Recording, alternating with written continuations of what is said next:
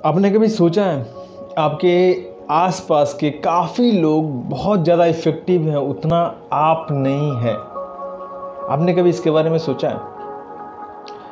मैं आपको ऐसा कहूँ प्रोडक्टिव रहना बहुत ज़रूरी होता है। अगर आपको लाइफ में इंजॉय करना है फैमिली को टाइम देना है तो एफिशिएंट और प्रोडक्टिव रहना बहुत ज़रूरी होता है। मैं ऐसा कर पाता हूँ और इतने बिज़ी शेड्यूल के बाद भी मैं वीडियो बना पाता हूँ। ये प्रूफ है। और मैं आज आपको अपना सुपर प्रोडक्टिव रूल्स मैं वो बताऊँगा जिससे कि मैं ज़्यादा एफिशिएंट हो पाता हूँ और ज़्यादा काम कर पाता हूँ। मैं अपना वो रूल्स प्लान्स आज आपके साथ शेयर करूँगा। Everybody this is super Jogi welcome to the channel अगर आप नए हैं तो मैं बता दूँ this is super Jogi and I am a creator entrepreneur और um, मैं हेल्प करता हूँ आपको सुपर कंटेंट बनाने में on different social platforms as well as मैं बताता हूँ आपको यूट्यूब के बारे में कैसे काम करता है और बहुत सारे टेक्निकल्स और वीडियो बनाने में हेल्प करता हूँ। तो इस चैनल को सब्सक्राइब करना ना भूलें पास में एक नोटिफिकेशन बेल है उसको ज़रूर दबाएँ। ताकि मेरे आने वाली वीडियो आपके पास जल्द से जल्द पहुँच सके।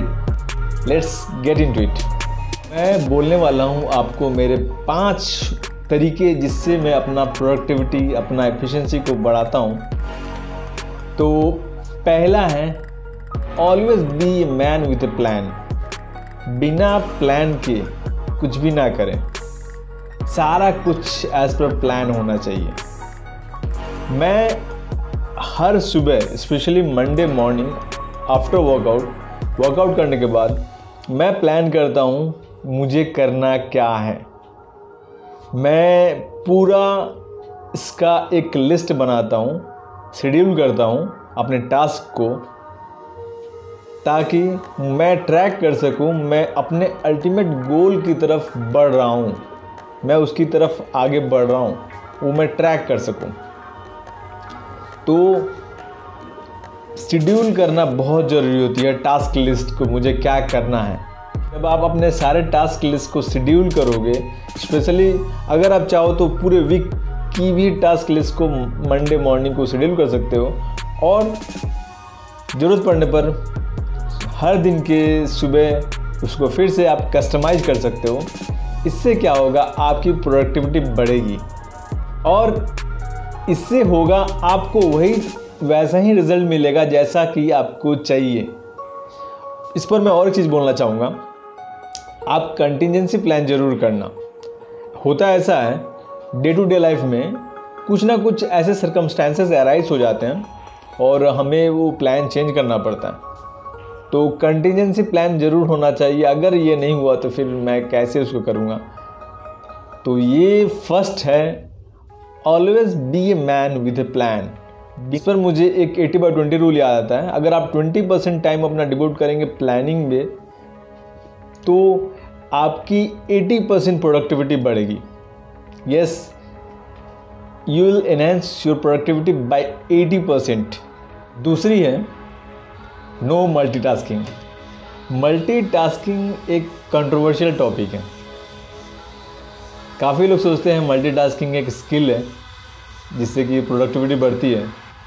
लेकिन मेरा मानना कुछ अलग है। मुझे पता है, काफ़ी लोगों को मैं कॉन्ट्राडिक्ट कर रहा हूँ, काफ़ी व्यू पॉइंट्स को मैं कॉन्ट्राडिक्ट कर रहा हूँ but this is my believe multitasking productivity घटाती है। आप जब कोई टास्क कर रहे हो, जिसमें अनडिवाइडेड अटेंशन चाहिए क्रिएटिविटी कुछ चाहिए और जिसमें काफ़ी एनालिटिकल स्किल्स लग रहा है। तो वो हैम्पर करता है जब आप मल्टीटास्किंग करोगे तो। ऐसे टास्क को अनडिवाइडेड अटेंशन चाहिए। आपको चाहिए जो टोटली फोकस होकर उस काम को करें। तो ही आपकी प्रोडक्टिविटी बढ़ेगी। हाँ छोटे मोटे काम के लिए आप मल्टीटास्किंग कर सकते हो बट आप जब कोई इम्पोर्टेंट काम कर रहे हो, कोई क्रिएटिव काम कर रहे हो, जहाँ पे एनालिटिकल स्किल्स काफ़ी लग रही है तो मल्टीटास्किंग अवॉइड करना चाहिए। रिसर्च में भी ऐसा बताया है मल्टीटास्किंग से प्रोडक्टिविटी घटती है टाइम वेस्ट होता है। तो आप कोई जब इम्पोर्टेंट काम कर रहे हो, कोई ऐसी काम कर रहे हो, जैसे कि मैंने आपको बताया तो मल्टीटास्किंग ना करें। तीसरा है प्रायोरिटाइज आपको हर एक काम को, हर एक काम का प्रायोरिटी के हिसाब से काम करनी चाहिए। मेरा मानना है, जब आप फ्रेश हो, आपका ब्रेन तो एक्टिव हो बेसिकली सुबह को रहता है, उस समय आप अपना इम्पोर्टेंट बड़ा जो काम है, जो मुश्किल वाला काम है, उसको पहले कर लें। क्योंकि फ्रेश रहने पर वो काम हो जाएगा। और एक बार जब आप कोई अपना इम्पोर्टेंट बड़ा और मुश्किल वाला काम को पहले कर लेते हैं तो एक कॉन्फिडेंस बिल्डअप होता है और एक मोमेंटम आ जाता है और उसके बाद आप बाकी सारे काम जो आसान है रिलेटिवली उसको आसानी से करते हैं और आपका दिन अच्छा जाता है। इस पर मैं बोलना ये भी चाहूँगा जनरल टेंडेंसी होता है किसी को वो काम को, वही काम को करना चाहते हैं, जो कि उनको अच्छा लगता है। और ये भी देखा गया है, जो काम को, जो काम करने में अच्छा लगता है, वो शायद इम्पोर्टेंट काम नहीं हो, वो आसान काम हो। उसमें मज़ा आता है, आसान काम है, उसमें उतना ब्रेन नहीं लगता। तो ये एक एक टेंडेंसी होता है, लेकिन जैसे ही आप आसान आसान काम करोगे, आप जब टायर्ड हो जाओगे तो उसके बाद आपको जो इम्पोर्टेंट काम थी, जो मुश्किल वाला काम था उसको करने के लिए आपके पास एनर्जी नहीं रहेगा। इस पर और एक क्वेश्चन आता है, कैसे डिसाइड करें कौन सा काम इम्पोर्टेंट है, मुश्किल वाला है? प्रायोरिटी कैसे डिसाइड करें? इस पर भी एटी बाई 20 रूल है। 20 परसेंट ऑफ़ योर एक्टिविटीज़ मात्र 20 परसेंट है जो टोटल एक्टिविटीज़ के 20 परसेंट एक्टिविटीज़ ही एटी परसेंट रिज़ल्ट डिसाइड करते हैं। आप जितना भी एक्टिविटीज़ करते हो, उस होंगे, उसमें से मात्र 20 परसेंट एक्टिविटीज़ आपके जो रिज़ल्ट का 80 परसेंट डिसाइड करते हैं तो वो 20 परसेंट काम, वो हायर प्रायोरिटी वाला काम है। और ऐसा करने से बेनिफिट ऐसा होता है, जब आप कोई प्रोजेक्ट कर रहे हो या किसी, कहीं पे अगर आपने डेडलाइन सेट किया हुआ है तो आप हर एक टास्क को, हर एक प्रोजेक्ट को आप टाइम पे करोगे, जब आप प्रायोरिटी बेसिस पे काम करोगे। मुझे तो लगता है लाइफ का पूरा फंडा पूरा सक्सेस इसी पे डिसाइड होता है। कौन सा काम को आप पहले करते हो? भले वो आपको अच्छा लगे या ना लगे, लेकिन आपको पता हो नहीं। ये जो एक्टिविटी अगर मैं करता हूँ, उससे ज़्यादा रिज़ल्ट होता है। तो उसको पहले करने चाहिए। चाहे वो आपको इंटरेस्टिंग हो, मज़ा आया या नहीं आया। एक बार आपकी जब हैबिट हो जाएगी तो आप आराम से करने लगोगे। आप उसको कभी भी टालोगे नहीं। चौथी है रेड्यूस डिस्ट्रैक्शंस ये काफ़ी आम बात है। सब कोई बोलते हैं ऐसा। लेकिन ये बात सच है। ये काफ़ी ओवर यूज़ है, लेकिन ये सच है, हम काफ़ी ज़्यादा डिस्ट्रैक्टेड हो जाते हैं, जिससे हमारी प्रोडक्टिविटी घटती है। अभी हम जिस डिजिटल एज में हमारा माइंड जो है क्लासिकली कंडीशन हो चुका है। आपको शायद याद होगा, वो एग्ज़ाम्पल पैबलॉफ डॉग्स वाली, जिसको जब हम कुत्ते को चिकन देते थे रोज़ रोज़ तो उसके मुँह से काफ़ी सलाइवा निकलता था। रोज़ चिकन देते थे उसका मुँह से सलाइवा निकलता था। जिस टाइम पे देते थे उसके बाद हमने दूसरा एक्सपेरिमेंट किया, जिसमें हमने केवल बेल बजाया। उसमें सलाइवा नहीं निकलता था। फिर तीसरा जो एक्ट है, उसमें हमने चिकन देने के पहले साथ में बेल भी बजा देते हैं। ऐसा रोज रोज करते रहे और रोज रोज उस कुत्ते का सलाइवा निकलता था। चौथे एक्सपेरिमेंट में जब उसको चिकन नहीं देकर, केवल जब घंटी बजाया गया, उसमें ही उसको सलाइवा निकलने लगा। लेकिन जबकि सेकेंड एक्सपेरिमेंट में जब हमने केवल घंटी बजाई थी तो उसमें सलाइवा नहीं निकला था। उसी प्रकार से हमारा माइंड जो है क्लासिकली कंडीशन हो चुका है। अगर ऐसा देखें तो जब से मानव संस्कृति है, सबसे ज़्यादा डिस्ट्रैक्टेड अगर ह्यूमंस हैं तो अब, अभी हैं, इस डिजिटल एज में। उनकी प्रोडक्टिविटी बहुत कम हो चुकी है, बहुत कम हो चुकी है। चारों तरफ़ सोशल मीडियाज़ हो गए हैं। सबसे बड़ा है तो स्मार्टफ़ोन हो चुका है। स्मार्टफ़ोन बस वो स्मार्ट है जो हमको टोटली अनस्मार्ट कर दे रहा है। तो आपको अगर प्रोडक्टिविटी बढ़ानी है तो आपको अपना सेलफोन का या लैपटॉप का नोटिफिकेशन को ऑफ़ करना पड़ेगा और फिर काम करनी, काम करना पड़ेगा। ताकि आप फोकस होकर काम कर सकें, जैसे कि हमारे पूर्वज करते थे। सपोज़ शिकार में जा रहे हैं तो फोकस होकर शिकार करते थे। और शायद वो शिकार भी अच्छा खासा कर लेते होंगे। तो हमें अगर प्रोडक्टिविटी बढ़ानी है तो नोटिफिकेशंस को घटाना होगा। सोशल मीडियाज़ को बंद करने होंगे, जब हम अपना काम करते हैं। बिना और फ़ोन को छोड़ना तो पॉसिबल नहीं है। फ़ोन को छोड़ना पॉसिबल नहीं है तो आप क्या कर सकते हैं? आप जिस समय काम कर रहे हो, उस समय या तो फ़ोन को स्विच ऑफ़ करें या फ़ोन को स्विच ऑफ़ नहीं कर सकते हैं तो एटलीस्ट नोटिफिकेशन को टर्न ऑफ़ करें।